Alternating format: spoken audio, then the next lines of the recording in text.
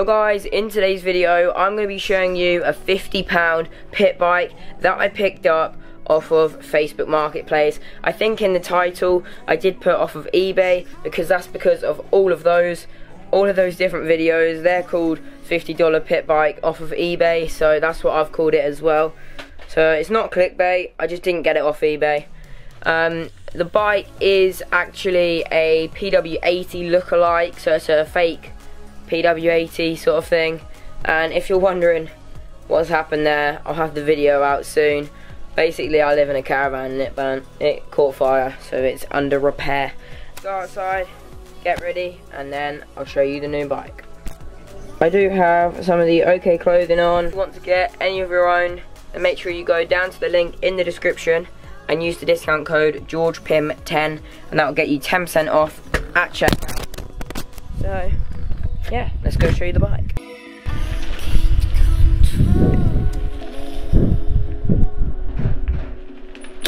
So I'm in the shed now and the bike is here. I'm gonna push it over into the big shed where there's a lot more light and I'll show you the bike. Just quickly, the bike doesn't run, so I'm not gonna be riding it. But yeah. Bike is a 90cc Chinese PW80 lookalike. So it's not an actual PW80, it's just got the same plastics, similar engine, and same size really. So yeah, we obviously, when I went to pick it up, I did see if it runs, and it didn't. I knew it didn't before I'd even bought it, but I'll show you what the problem is it's not going to be a big a big problem I don't think and we should be able to get it running. And I'm going to make this bike look so good. We'll get the bike running soon in a future video and buy some good parts for it and try and make it into a decent little pit bike. So yeah. So one thing straight away the throttle cable needs redoing. It needs a new throttle and all new bit around here because it's broken as you can see there. And basically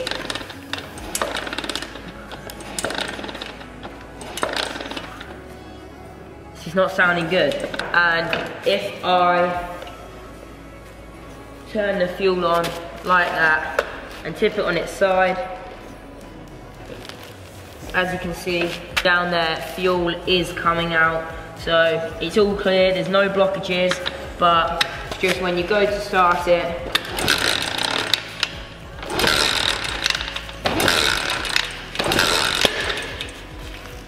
it just doesn't start. There's obviously something wrong inside. It's not a major fix, I don't think. It's got oil, so there's oil in the bike, there's fresh petrol in the bike.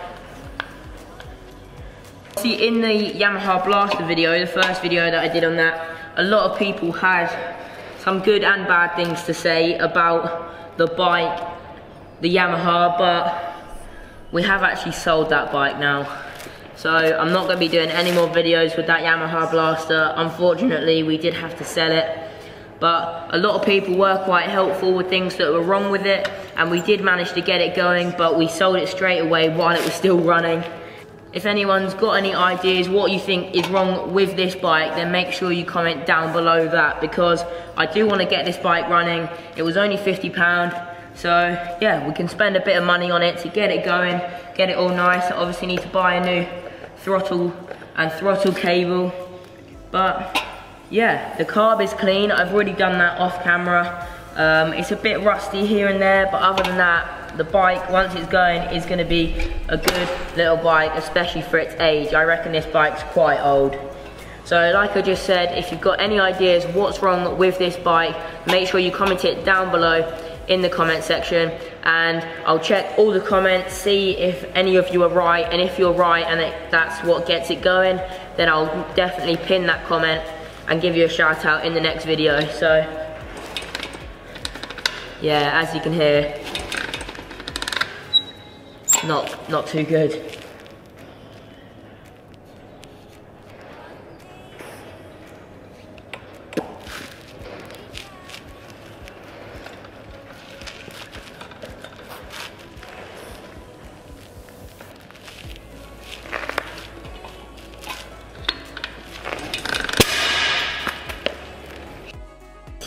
Whatever that was, just went bang.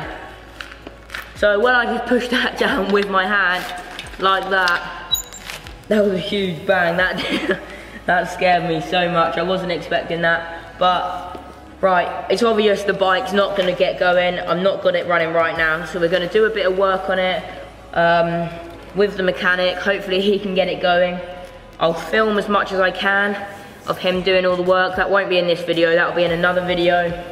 So, yeah, I'm gonna put the bike away for now and then I'll get the quad out and we'll do a couple of wheelies.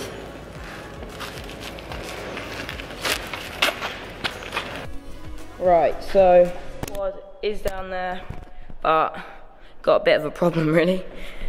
I was about to go and start it, but the key is not in the quad. I don't know where I've put the key because I was going to sell the quad, but now we're not selling the quad anymore. We're selling my 110 once that gets going and my trike, and I'm going to go and buy myself a 2020 CRF 110. So we're going to have some videos with a 110 coming very soon, but quickly now, I need to go and try and find the quad key. Got it. So, got the quad, got the key,